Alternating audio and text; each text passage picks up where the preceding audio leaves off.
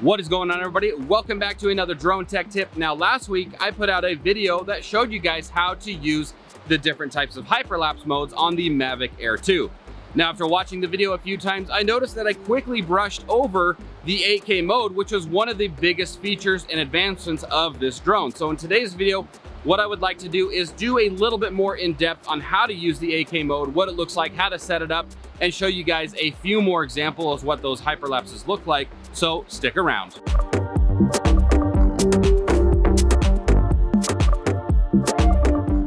So jumping right into this, make sure you have your phone, your controller, and your drone all powered up, paired, and ready to go.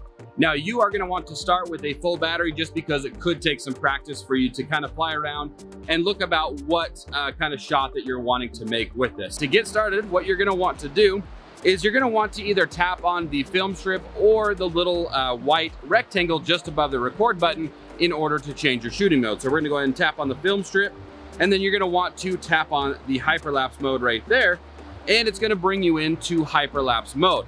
Now, right now, your probably default set is to 1080p and we're gonna wanna change that over to 8K. So to do that, what you're gonna do is you're gonna tap on the three little dots up in the top right-hand corner. We're gonna call those settings.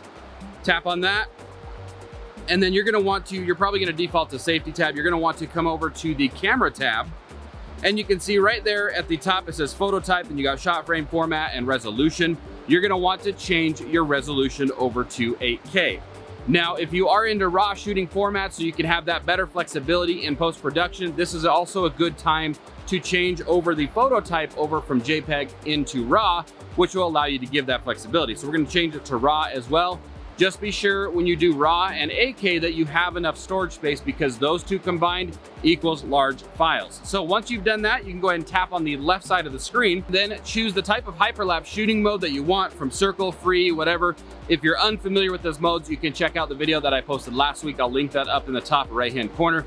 That goes through and just breaks down each one of those hyperlapse modes and kind of gives you a quick at a glance how to set it up, quickly how to use it uh, on that video. So go ahead and check that out. Now, with 8K, unlike 1080p, the six second interval is the minimum that you can go on 8K. And the problem with that is if you have a lot of movement or a lot of change, because a lot can change within six seconds, you may result in some jittery or some choppy playback footage. So just make things as smooth as they can be. Make sure like wind and things like that as smooth as it can be just to make sure that your 8K is as smooth as it can. Like I said, we're gonna be using course lock for today's demonstration. So I've got the drone in the air now, so it allowed me to choose course lock.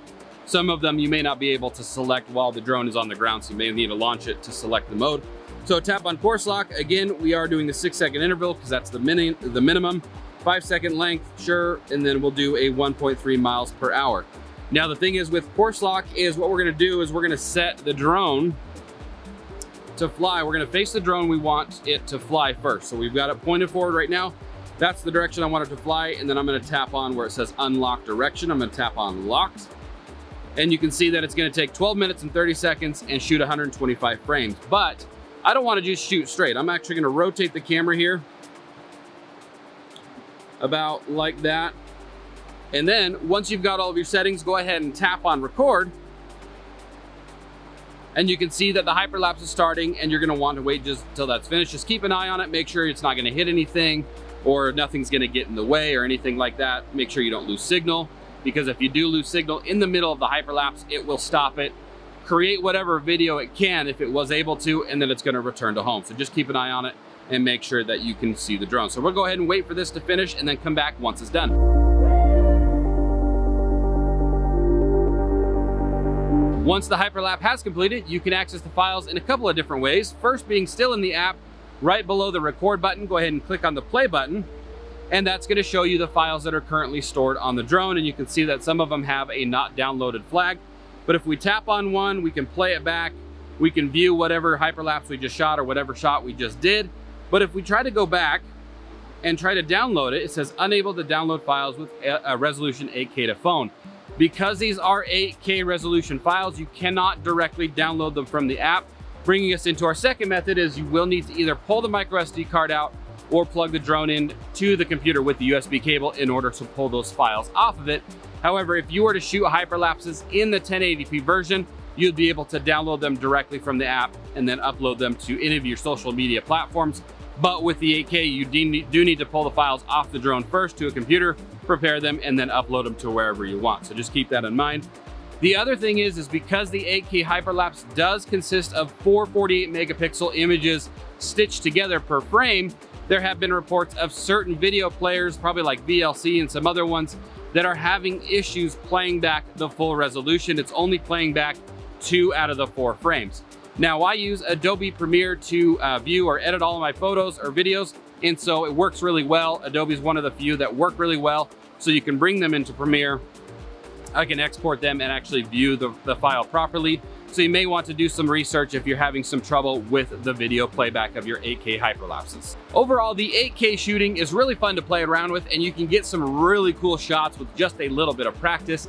Now there are some rumors out there that DJI may be releasing a firmware update to give us 4K and 2.K shooting modes, which again will just add to the feature set that this drone offers and give us a little bit more flexibility and control on the types of videos that we want to create. So hopefully that is a thing. Again, that is all speculation. We'll definitely take a look. Anyways, guys, that is going to wrap it up for this week's drone tech tip. Thank you guys all so much for watching. If you liked it, if you got something out of it, be sure to give it a big old thumbs up and a share. And of course, don't forget to subscribe and ring the bell so you guys don't miss out on any type of future content. And we will see you on the next one. Peace.